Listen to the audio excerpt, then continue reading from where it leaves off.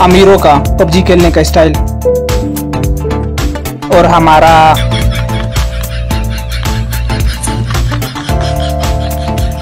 मुझे फ़िल्में बनाने का शौक था, बचपन से फ़िल्में देखता था मैं। तो उसके बाद 2017 में म्यूजिकली टिकटॉक जो नाम है इसका आजकल, फिर मैंने वो डाउनलोड किया। फिर मैं वीडियो बनाता था, पंद्रह बीस सेकंड की मैं वीडियो बनाता था। तो पहले मैं रोमांटिक वीडियोस बनाता था, वो ज़्यादा वायरल नहीं होती थी। जब एक साल गुजरने के बाद फिर मैंने फ़नी वीडियोस बनाना शुरू किया 2018 में तो मेरी वीडियोस बहुत वायरल हो गई फॉलोअर्स हैं टिकटॉक में। आ, मेरा नाम समी खान खिलजी है बलूचिस्तान कोयटा से ताल्लुक़ रखने वाला एक टिकटॉकर भी हूँ और यूट्यूबर भी हूँ। टिकटॉक में अच्छे लोग भी है बुरे लोग भी है कुछ अच्छे वीडियोस बनाते हैं कुछ बुरे। मैं तो ओनली फ़नी वीडियोस बनाता हूँ जो लोगों को इंटरटेन कर सकूँ लोगों के आ, मतलब चेहरे पे मुस्कान ला सकूँ।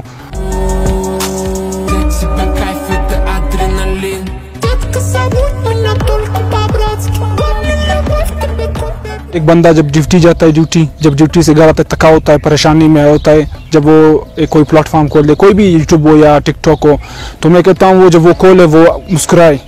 हमारी फ़नी वीडियोस देखकर वो मुस्कुराए। न कि वो ये सैड वीडियोस है, जो ख़राब, गलत वीडियोस देखकर उसका दिमाग और डिप्रेशन में चला जाए। अमीरों का स्कूल खुलने के बाद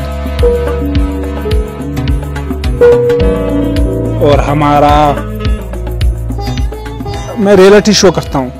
जो अमीरों के स्तर तो वो तो मुख्तलिफ़ है और जो हमारा होता है ना मतलब मिडिल क्लास के जितने भी लोग हैं जहाँ इस तरह, उनका अलग होता है। तो मैं इनमें डिफरेंस बताता हूँ कि ये अमीरों का स्टाइल होता है, ये हमारा स्टाइल होता है। और ये ऐसा कंटेंट इसका एंड कभी भी नहीं होगा, ये कभी भी ख़त्म नहीं होगा ये कंटेंट अमीरों का बैठने का और हमारा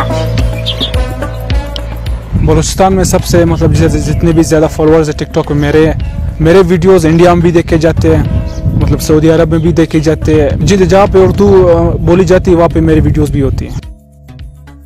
आज के सारे पेरेंट्स जितने भी पेरेंट्स हैं, सारे कंप्लेन कर रहे हैं, आई कोर्ट्स में जिधर भी जाओ टिकटॉक के खिलाफ कि हमारे बच्चे ख़राब हो रहे हैं। जैसे यूट्यूब है, उस आप वीडियो अपलोड करते हो, दस मिनट वो रिव्यू करते हैं चेक करते हैं। अगर वीडियो में थोड़ी सी भी गलती या बैड कंटेंट था, वो वीडियो रिमूव कर देते हैं। तो मैं चाहता हूँ कि टिकटॉक में भी ऐसा कोई मतलब रूल स्टैंडर्ड हो। ताकि मतलब लोग वीडियो अपलोड करें, कोई गलत वीडियो हो जाए वो उसे रिव्यू करें, अच्छी तरह से उसके बाद उसे डिलीट किया जाए।